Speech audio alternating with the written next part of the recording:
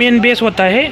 इसके अंदर जो वो टिंटर्स रहते हैं ना, वो अलग अलग कलर के, वो डालने पड़ते हैं। अब यहाँ पे बताया है, यहाँ पे आप दिखा दें थर्टी सेवन पॉइंट सेवन उधर भी वही डाला है थर्टी सेवन पॉइंट बैक दोस्तों, एक और नई वीडियो में आपका स्वागत है। आज का वीडियो हो जाएगा, गाड़ी का कलर किस तरीके से बनाते हैं, हम इसके ऊपर हो जाएगा। तो स्टार्ट से लेके एंडिंग तक सारी की सारी चीज़ें हम यहाँ पे बताएँगे। इसके साथ साथ ये जो कलर बनाते हैं, इसका एड्रेस भी दे देंगे आपको। इसलिए पूरा वीडियो लास्ट तक ज़रूर देखिएगा। एक एक स्टेप में इस वीडियो में कवर कर दूँगा कि किस तरीके से उसका कलर कोड निकालते हैं, उसके बाद किस तरीके से उसके ऊपर मशीन लगाते हैं, उसके बाद कलर कौन से कौन से मिलाने पड़ते हैं, ये सारी चीज़ें हम इस वीडियो में दिखाएँगे। तो यहाँ पे आप देखिए, ये जो पैनल है ना, ये इर्टिका गाड़ी का फ्यूल का फ्लैप है। इसके ऊपर हमें कलर मैच करना होता है। यहाँ पे हमने पॉलिश लगाई है क्योंकि इसके ऊपर ना बहुत सारी मट्टी वगैरह बिटी हुई होती है। इसको पहले हमें रिमूव करना होता है। इसके लिए हमें पॉलिश लगाएँगे। उसके बाद इसको घिस के निकालेंगे।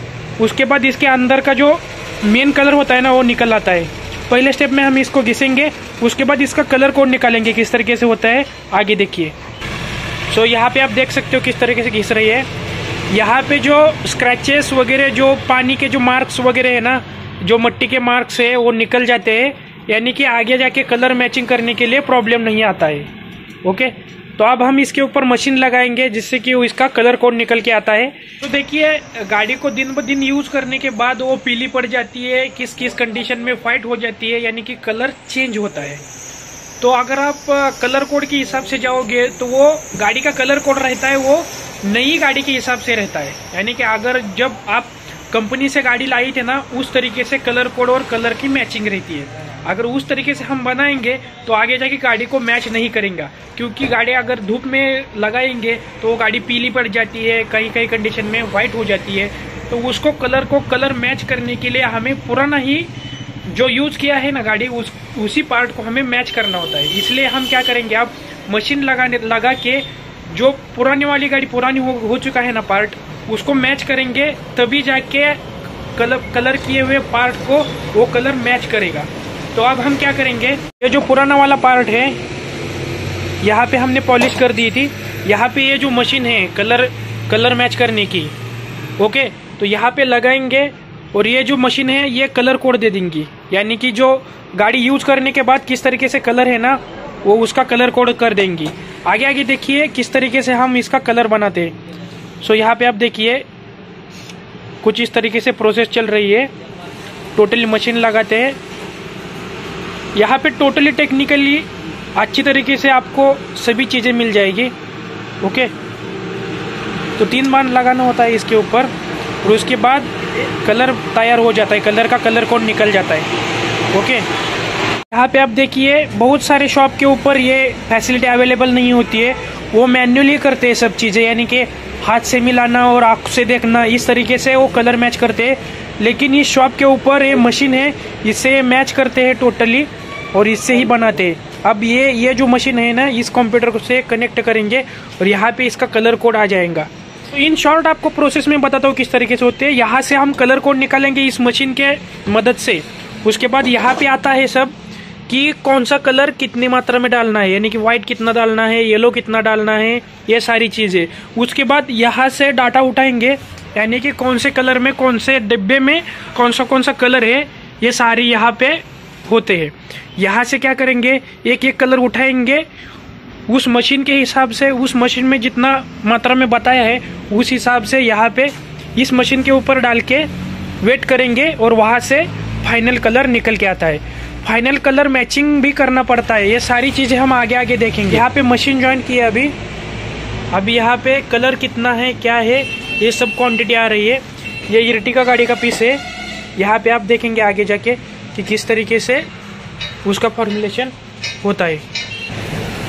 सो so, यहाँ से इस पार्ट्स के ऊपर से अगर कलर कोड निकालेंगे ना यहाँ पे दिखाई देता है। दिखा दो किधर है। यहाँ पे देखिए यहाँ पे बताया, बताता है, आपको दिखाता हूँ अच्छी तरीके से मैं। सो यहाँ पे आप देखिए, यहाँ पे मारुति का ये जो कलर कोड है, निकल के आया है। इसके ऊपर आप, ओके तो आगे की प्रोसेस कीजिए। ओके, यहाँ पे आप देखिए। हाँ? अब इसमें कितनी क्वांटिटी बनानी है वो डालने का है? अगर 100 एम एल सौ एम एल बना दो दो पीस मारने के सौ बेस बना दो और 100 टॉप बना दो। ओके। तो इस कलर में आप देखोगे ना कि ये जो कलर है ओनली वाइट नहीं है पर्ल वाइट है, ओके। तो आपको किस तरीके से दिखाता हूँ मैं। सो ये प्लेन वाइट नहीं है। यहाँ पे आप देख सकते हो पर्ल किस तरीके से चमक रही है, ओके। तो इसलिए दो कोट में कलर आता है। कोटिंग अलग से होता है। तो उसकी प्रोसेस हम आगे देखेंगे। सो यहाँ पे आप देखिए, यहाँ पे बताया है कि कौन से डब्बे में ये टी वन डबल ज़ीरो डब्बे में से इतनी क्वांटिटी डालनी एट पॉइंट टू ऐसे कुछ इस तरीके से सारी की सारी चीज़ें यहाँ पे दिखाता है। तो उसी तरीके से आप वहाँ पे जाके इस डब्बे में से निकाल के हमें वेट करना होता है। सो so, यहाँ पे आप देखिए अब ये 100 एम का डिब्बा लिया है। यहाँ पे वेट कैलकुलेट करना होता है। यहाँ पे इन्होंने फ़ोटो निकाला है कि उस कंप्यूटर के ऊपर कितनी मात्रा में कौन सा कौन सा क्या क्या डालना है। मेन बेस होता है।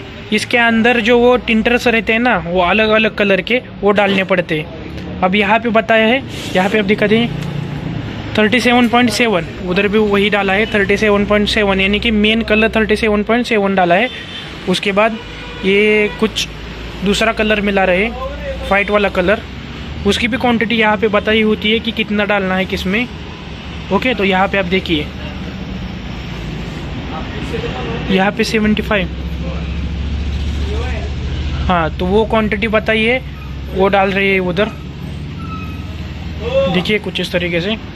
बहुत सारे लोगों को यही पता नहीं होता कि गाड़ी का कलर किस तरीके से बनाते हैं। तो आपको एक एक चीज़ में बता रहा हूँ। वो देखिए, यहाँ पे यहाँ पे बताइए एटी टू पॉइंट टू और यहाँ पे भी उतना ही ले आई eighty two point two okay so यहाँ पे आप देख सकते हो पहली क्वांटिटी तो डाली है दूसरा कौन सा कलर था? ब्लैक ब्लैक कलर डालना था। कितनी क्वांटिटी थी उसकी? एक ग्राम एक ग्राम वन ग्राम डालना था ओके ब्लैक की वन ग्राम डालनी थी। आगे की कौन से? येलो था. अब येलो डालना है। क्या डाला है? डाल दिया। डाल दिया। ब्लैक और येलो इन्होंने डाल दिया है। इसके अंदर यहाँ पे आप देख सकते हो। यहाँ पे थोड़ा सा आपको ब्लैक दिखाई देगा और यहाँ पे येलो उसके बाद इसको मिक्स करना है।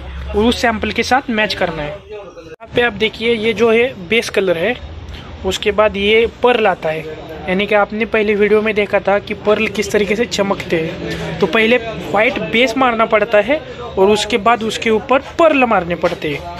पर्ल अलग से बनाने पड़ते हैं। इसका एक हाथ मारना पड़ता है स्प्रे करना पड़ता है और उसके बाद इसका एक हाथ स्प्रे करना होता है और उसके बाद क्लियर कोट मारना पड़ता है। ओके? एक एक डिटेल में आपको वीडियो बताऊँगा। हर एक चीज़ की नॉलेज दूँगा।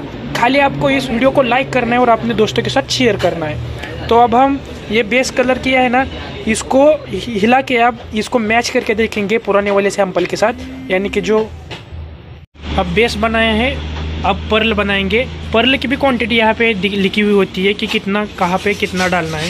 यहाँ पे आप देखिए, ये बाइंडर डालते हैं पहले तो मेन है ना? है ना सर बैंड किरण सर है इनका ही शॉप है। ओके ये पंडरपुर में इनका शॉप है ना सर? हाँ पंडरपुर पंडरपुर में सरगम चौक में। अगर आप भी चाहते हो किसी गाड़ी का कलर बनाना तो यहाँ के इस शॉप के ऊपर आके विज़िट कर सकते हो। सो यहाँ पे इसका टॉप कोट यानी कि पर्ल कोट बनाया जा रहा है। इसकी क्वांटिटी के हिसाब से वहाँ पे वेट किया जाता है और वो कलर तैयार हो जाता है। उस कलर को हमें वो पुराने वाले सैंपल के साथ मैच करना होता है और उसके बाद कलर फाइनल होता है। तो इसको तैयार करेंगे, उसके बाद मैचिंग किस तरीके से करते हैं, वो आगे जाके देखेंगे। पे आप देखिए, ये जो मेन कलर है बेस कलर है ना, इसको इस सैंपल के ऊपर मैच करके देखेंगे। यहाँ पे आप देख सकते हो किस तरीके से मैचिंग हो रही है। ओके इसको मैच करेंगे, ये मैच हो गया। अगर इसमें थोड़ा सा ब्लैक रहेगा तो ब्लैक डालेंगे येलो रहेगा तो येलो डालेंगे। कुछ इस तरीके से इसका कलर बनाते हैं।